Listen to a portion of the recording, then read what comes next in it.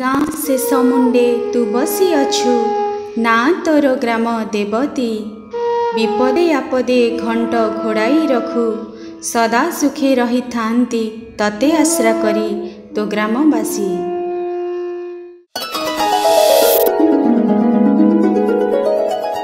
ଆପଣମାନେ ଦେଖୁଛନ୍ତି village vision TV ମୋ ଗାଁ ସବୁଠୁ ମୋ ଗାଁଟା ଭାରି ସୁନ୍ଦର। ମାତ୍ରାରେ ଲାଇକ୍ ସେୟାର ଓ କମେଣ୍ଟସ୍ ଦିଅନ୍ତୁ ଏବଂ ଆମ ୟୁଟ୍ୟୁବ ଚ୍ୟାନେଲ ଭିଲେଜ ଭିଜନ ଟିଭିକୁ ସବସ୍କ୍ରାଇବ କରନ୍ତୁ। ଆଉ ଯଦି ଆପଣଙ୍କ ଗାଁର ଐତିହ୍ୟ ସଂସ୍କୃତି ପରମ୍ପରାର କଥା ଓ ଗାଁର ଦୃଶ୍ୟ ଆମ YouTube channel village vision TV ମାଧ୍ୟମରେ ପ୍ରସାରଣ କରିବାକୁ ଚାହୁଁଛନ୍ତି କମେଣ୍ଟସ୍ ବକ୍ସରେ ଠିକଣା ଓ ଫୋନ୍ ନମ୍ବର ଲେଖି ଦିଅନ୍ତୁ ଆମେ ନିଶ୍ଚୟ ଚେଷ୍ଟା କରିବୁ ଆପଣଙ୍କ ଗାଁର ଦୃଶ୍ୟ ପ୍ରସାରଣ କରିବା ପାଇଁ ଧନ୍ୟବାଦ ମୋ ଗାଁଟା ଭାରି ସୁନ୍ଦର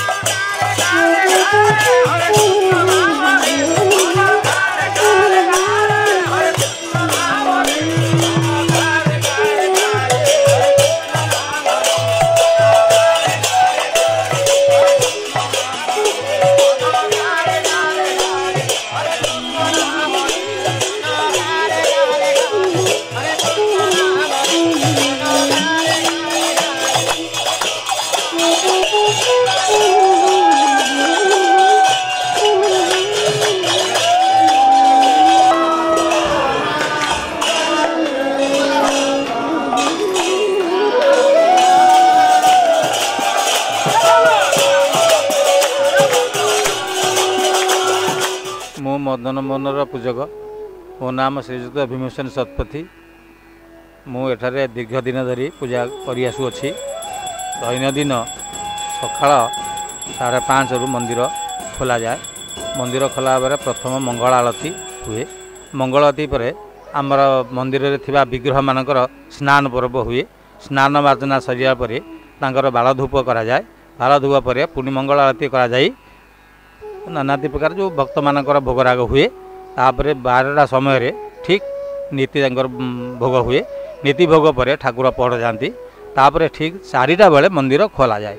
ମନ୍ଦିର ଖୋଲାଯାଇ ପୁନଶ୍ଚ ମଙ୍ଗଳ ଆଳତୀ କରାଯାଇ ତାଙ୍କର ପୁଣି ସ୍ନାନ ମାର୍ଜନା କରାଯାଇ ତାଙ୍କର ବିଧିବଦ୍ଧ ପୂଜା ଅର୍ଚ୍ଚନା କରାଯାଏ। ତାପରେ ଉଁ, ସନ୍ଧ୍ୟା ଆଳତୀ କରାଯାଇ ଉଁ, ପୁଣି ନୀତି ଭୋଗ କରାଯାଏ। ନୀତି ଭୋଗ ପରେ ସନ୍ଧ୍ୟା ସାତଟା ବା ଆଠଟା କେଉଁଦିନ ସାଢ଼େ ନଅ ନି- ଯଥା ସମୟରେ ପୁଣି ଠାକୁର ମଙ୍କର ପହଡ଼ ଦିଆଯାଏ। ରଜା ଥିଲେ ରାମଗଡ଼ ରଜା ଥିଲେ। ରାମଗଡ଼ ରଜା ନିଜେ ଠାକୁର ପ୍ରତିଷ୍ଠା କରିଥିଲେ।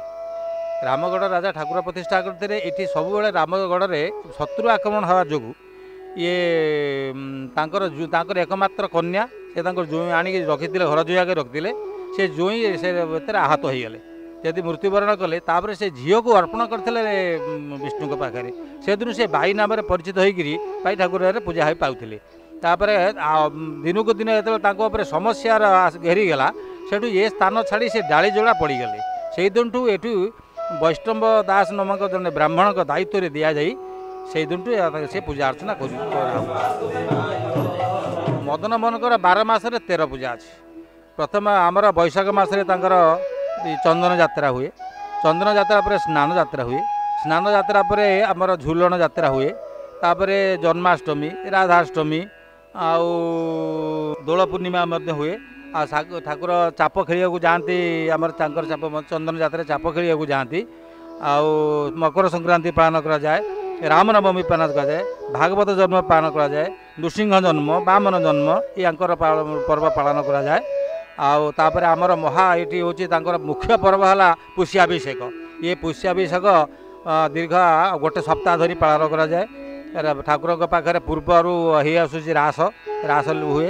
ତାପରେ ଉମ୍, ଚାରି ରାତ୍ରି ଭଲ ଭଲ ଯାତ୍ରାବାଲା ମାନେ ଏଠି ଆସନ୍ତି। ଚାରି ରାତିରୁ ପାଞ୍ଚ ରାତି ଯାତ୍ରା ମଧ୍ୟ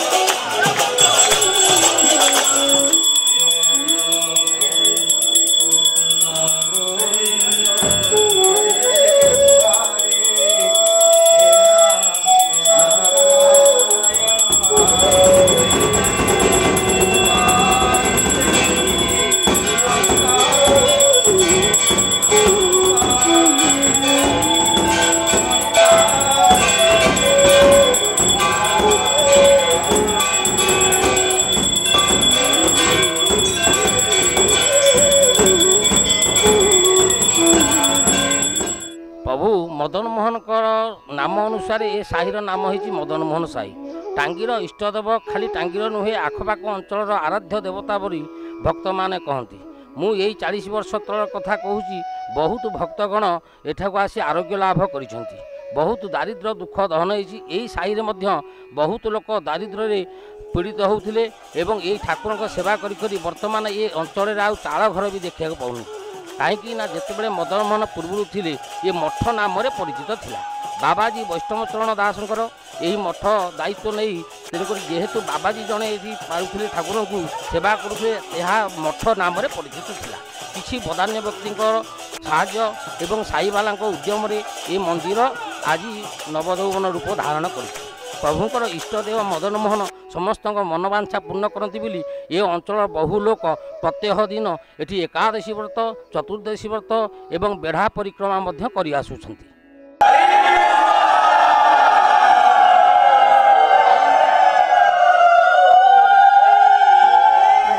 ଏଇଟା ହେଲେ ଆମର ମଦନମୋହନ ମଠ। ଏଠି ସମସ୍ତ ଭକ୍ତ କିଛି ନା କିଛି ମାନସିକ କରିକି ଆସିଥିଲେ ମଧ୍ୟ ସମସ୍ତଙ୍କର ସବୁ ମାନସି ମାନସିକ ପୂରଣ ହୋଇଥାଏ। ମୋ ଜୀବନରେ ମୁଁ ଏକା ବି ଅନୁଭବ କରିଛି ଯେଉଁ ଜିନିଷ ମାନସିକ କରିଥିଲି ନିଶ୍ଚୟ ମୁଁ ପାଇଛି। ଏଠି ମଦନମୋହନ ଗୋସାଇଁ ବର୍ଷକର ବାର ମାସରେ ତେର ପର୍ବ ହୁଏ ଆଉ ସବୁ ପର୍ବ ମାନେ ନିୟମରେ ପାଳନ ହୁଏ। ଏ ଆମ ସାହିରେ ବହୁତ ଅସୁବିଧା ହୋଇଥିଲା। ଏଇ ମାନେ ଏଇ ମଦନମୋହନ ମଠରେ ସବୁ କଥା ଠିକ୍ ଭାବରେ ସଂକୀର୍ତ୍ତନ ହେଉଛି ସବୁ ହେଲା ପୂର୍ବରୁ ଆମ ସାହିରୁ ବହୁତ ଦୁଃଖ ଦୁର୍ଦଶା ଦୂର ଆମେ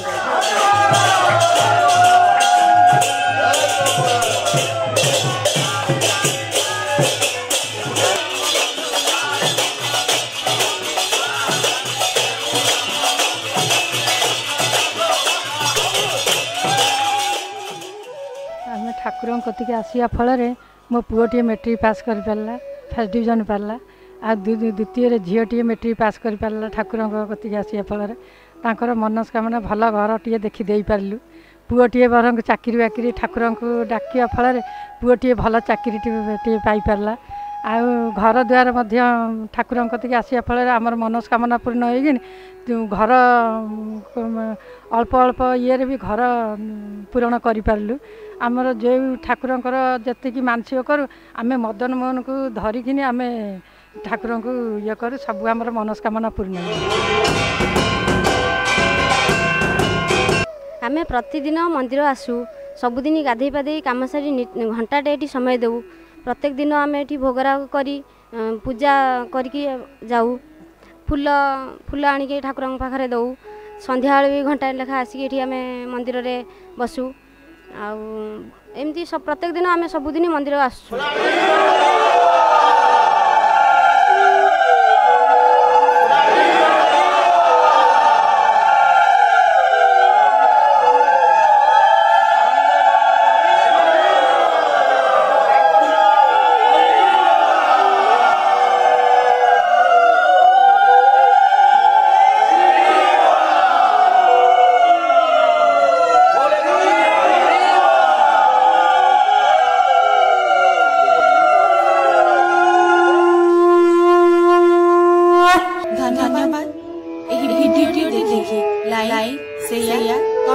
କରିଥିବାରୁ ଆପଣମାନେ ଭିଲେଜ ଭିଜନ ଟିଭି ମୋ ଗାଁ ସବୁଠୁ ସୁନ୍ଦର।